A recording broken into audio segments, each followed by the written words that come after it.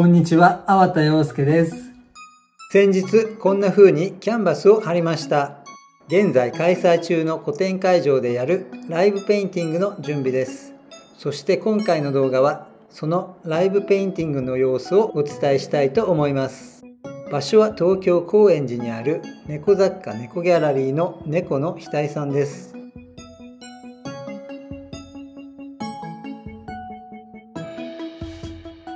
これはさっきのキャンバス。ちょっと角度的にお店がよく映っていませんがここは猫の額さんの店頭です。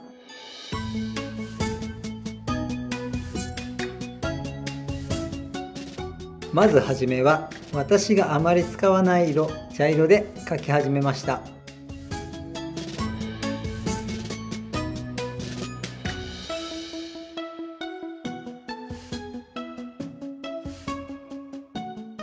ちょっと前衛アートみたいな描き始めですね。でも抽象画を描くつもりはありません。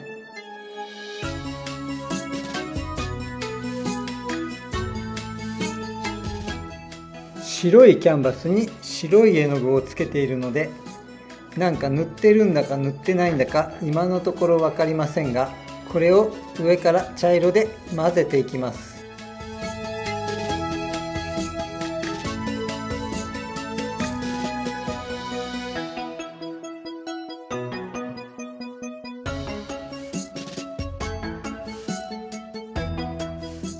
先ほど前衛アートと言いましたがなんだか本当にそれっぽくなってきました。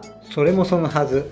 まあ書き始めに思いついたことなんですけどわざとそれっぽく書いているのです。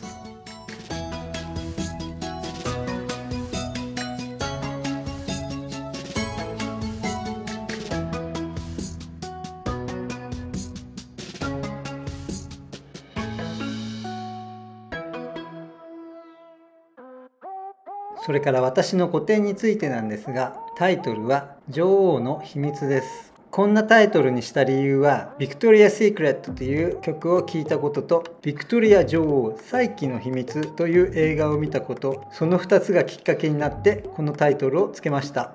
これは個展の DM のデザインです。で個展会場はこんな感じです。とてもチャーミングなスペースにとても素敵に飾り付けをしていただきました。この女王の秘密というタイトルの意味は自由に好きなように解釈してお楽しみいただけたらと思いますが私は女王様の裏側には私たちと同じように人としての悩みや小さな喜びもあってそんな普遍的なことを絵にしたいという気持ちがありました。YouTube で描いた作品も結構展示しております。でも写真では表せない質感とか特に色にはこだわって描いているのでできれば多くの方に実物を見ていただきたいなと思っています。こういう手書きの雑貨なんかもあります。バッグ類や T シャツそしてこのコインパースはこの間の動画で描いたものです。私は作品のタイトルにもこだわっていてコミカルなものも結構あります。結構気さくで気軽に楽しめる展示会となっております。私の個展の他にこの猫の額さんでは200人もの猫作家さんたちの作品があります。さてライブペインティングに戻って茶色がなかなかいい感じですね。しかしそれを台無しにするかのようにグリーンを足していきます。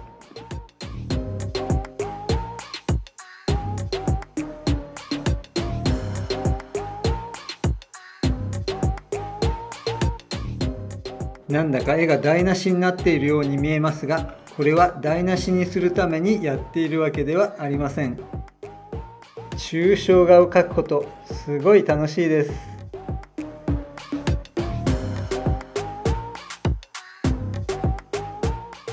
さてここから白を足していきます。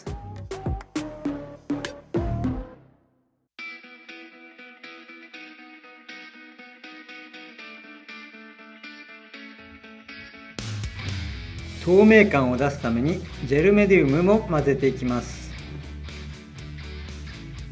白の絵の具とジェルメディウムを混ぜて描いているとジェルメディウムは乾く前は白いので白い絵の具を混ぜないでジェルメディウムだけ塗っていたりとかちょっと混乱してしまうことがあります。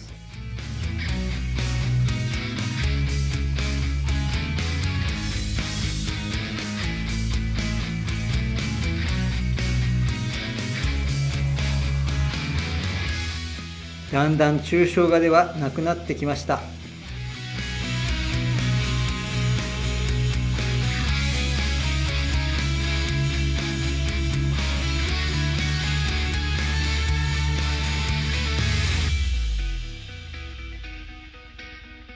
どういうふうに描くか最初から決めてなかったんですけどこんな感じの猫の絵になるとは自分でも思っていませんでした。いいことか悪いことかというとそういう問題ではないんですけどまあいいんじゃないかと思います。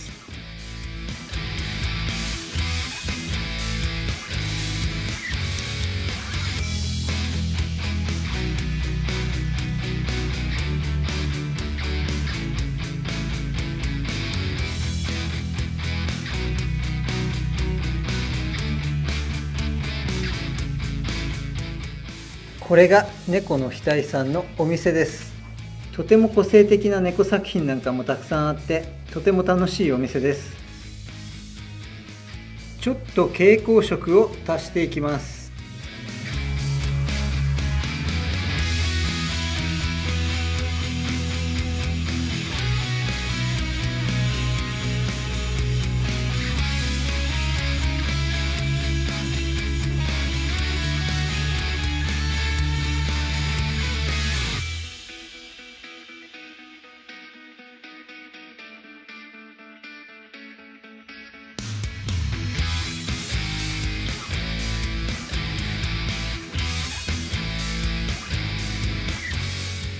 絵を描いていたので気づかなかったんですがこうやって動画で見ると結構たくさんの通行人の方がいらっしゃいますね。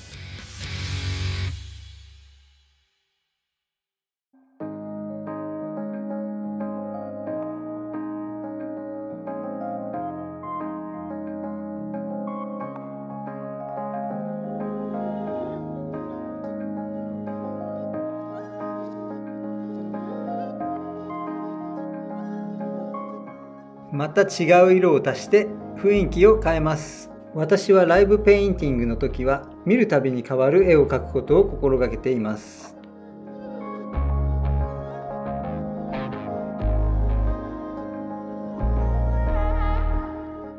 今度は蛍光オレンジを足していきます。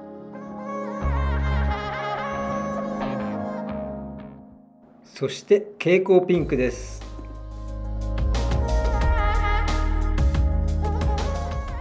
そして蛍光イエローも足します。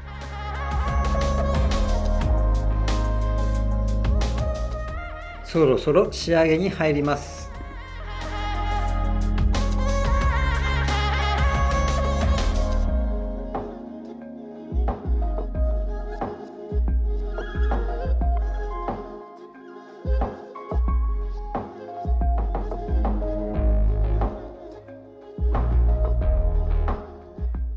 絵が完成しました。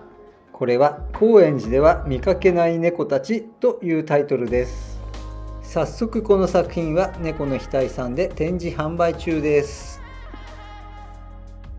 でこの小さい作品は翌日書いて追加した口を開けた影という作品です。会期中もこんな感じで新作が追加されます。私の個展「女王の秘密」は高円寺の猫の額にて3月3日から15日まで開催中です。詳細はこの動画の概要欄をご参照ください。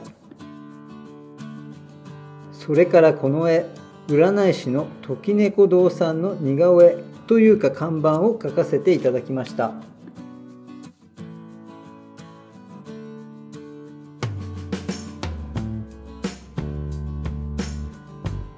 取れてなかった。ということで今回の動画は以上となります。この動画が良かったと思った方はグッドボタン、それからチャンネル登録などいただけるとありがたいです。最後までご覧いただきありがとうございます。また次回お目にかかりましょう。さようなら。